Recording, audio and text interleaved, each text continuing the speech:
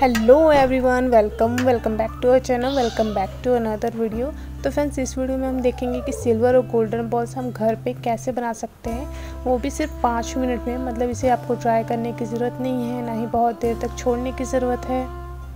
बहुत जल्दी रेडी हो जाता है और इंस्टेंट आप केक या कप केक्स में यूज़ कर सकते हैं। तो चलिए टाइम वेस्ट नहीं करते हैं रेसिपी में चलते हैं।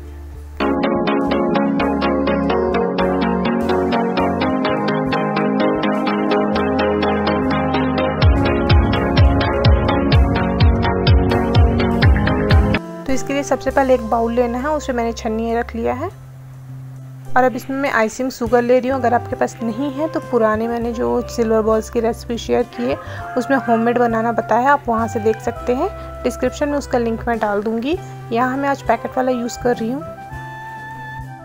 ये मार्केट में ईजिली मिल जाता है। बड़ा पैकेट वैसे वन के जी का आप लेंगे तो एट्टी, सेवेंटी रुपीज़ का आता है। और ये छोटा पैकेट थोड़ा महँगा पड़ता है, thirty two, thirty five rupees का आता है। तो पाँच चम्मच यहाँ पे मैंने इसे लिया है। साथ ही यहाँ कॉर्नफ्लोर ऐड कर रही हूँ, चार चम्मच। तो एक चम्मच का आपको बस अंतर रखना है। अगर पाँच चम्मच आप चीनी ले रहे हैं मतलब आइसिंग शुगर ले रहे हैं, और तो उसके बाद आपको चार चम्मच लेना है कॉर्नफ्लोर अच्छे से इसे छान लेंगे, ताकि कोई लम्स ना रह जाए। और एकदम बारीक इस तरह से होना चाहिए। अगर आपको लगे बारीक नहीं है, थोड़ा दरदरा तो आप इसे अच्छे से वापस से छान लीजिए। एक बार मैं इसे मिक्स कर लेती हूँ।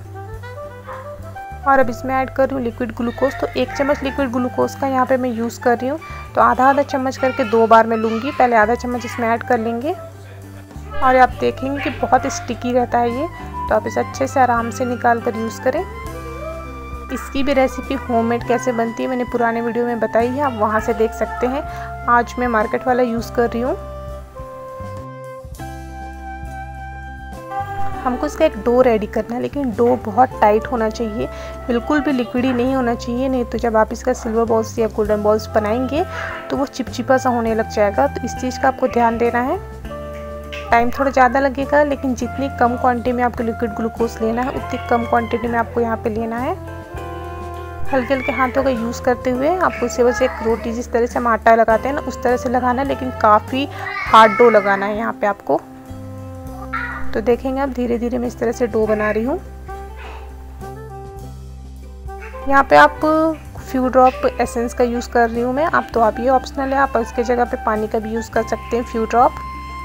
मैंने एसेंस डाला है, इसलिए यहाँ पे मैंने पानी का यूज़ नहीं किया है। और यहाँ पे मैंने स्ट्रॉबेरी फ्लेवर एसेंस यूज़ किया, इससे बहुत अच्छा टेस्ट आता है, इसका बिल्कुल बबलगम की तरह लगता है। तो इस तरह के आपको सख्त डो लगाना है आप देख सकते हैं। अब इसे दोनों हाथ का यूज़ करते हुए मैं अच्छे से स्ट्रेच कर लूँगी। बस आपको ध्यान रखना, जितना ज़्यादा डो आपके सख्त लगेगी, अगर आपको लग रहा है कि थोड़ा भी लिए थोड़ा सा लूज़ है या आप इसमें और ऐड कर सकते हैं कॉर्नफ्लोर या शुगर तो आप आइसिंग शुगर या कॉर्नफ्लोर एक चम्मच आप ऐड कर सकते हैं इसमें। अच्छे से इसका डो रेडी कर लेना है। तो कॉर्नफ्लोर का यहाँ पे यूज़ कर रही हूँ मैं हाथ में, और कॉर्नफ्लोर यूज़ करते हुए इसके छोटे छोटे बॉल्स बना लेंगे हम। बॉल्स आप किस तरह से बना रहे हैं वो आपके ऊपर डिपेंड करता है। आपको जिस तरह से भी आप इजी लगता है ना, उस तरह से आप बना सकते हैं। बहुत इजी है छोटे छोटे साइज़ का लेना है। बस आपको और इस तरह से राउंड करेंगे आप इजीली बन जाता है, बहुत ज़्यादा टाइम नहीं लगता है। और जैसे आप बॉल्स बनाएँगे, उस हिसाब से ड्राई भी होना स्टार्ट हो जाएगा।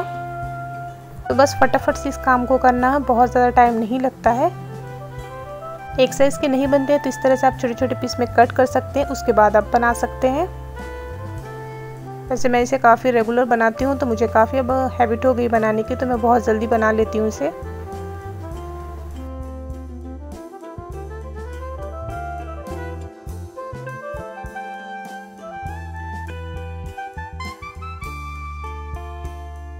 तो बस यहाँ पे मैंने आराम से बैठकर इसे बना लिया था।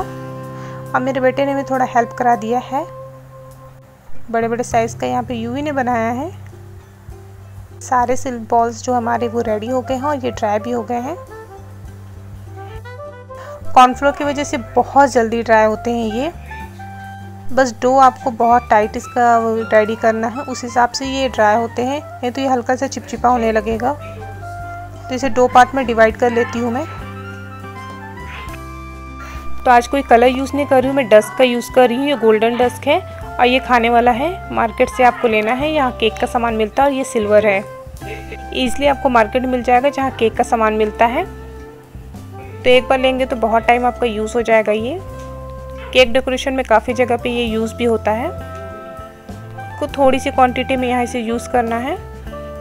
बाउल में मैंने हल्का से लिया है और बस इसे हल्का हल्का शेक करेंगे। आप देखेंगे तो ईजिली पूरे जो बॉल्स हैं ना, उसमें गोल्डन कोटिंग हो जाएगी। कुछ भी करने की ज़रूरत नहीं है, कोई कलर ऐड करने की ज़रूरत नहीं है आपको। तो कैमरे में ठीक से कलर दिख नहीं रहा है, मैं आपको दिखाती हूँ।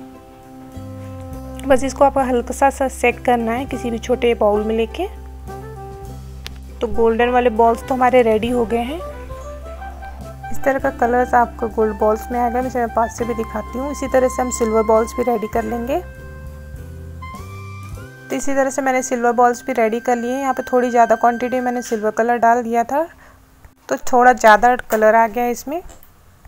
बट परफेक्ट बनी है, काफ़ी अच्छे बॉल्स रेडी हुए हैं। लुक वाइज सिल्वर वाला काफ़ी अच्छा लग रहा है। तो ये दोनों बॉल्स हमारे रेडी हो गए हैं। तो अगर आपको फटाफट से कभी सिल्वर बॉल्स या गोल्डन बॉल्स बनाने की ज़रूरत पड़े तो आप इस तरह से ज़रूर बना सकते हैं। क्योंकि कई बार ऐसा होता है, जब हम मार्केट नहीं जा पाते और हमें ज़रूरत पड़ जाती है। तो इसे बनाकर कभी ज़रूरत पड़े तो ज़रूर ट्राई करें और मुझे कमेंट करके बताएँ कि आपको ये रेसिपी कैसी लगी। तो मिलते हैं नेक्स्ट वीडियो में। तब तक के लिए बाय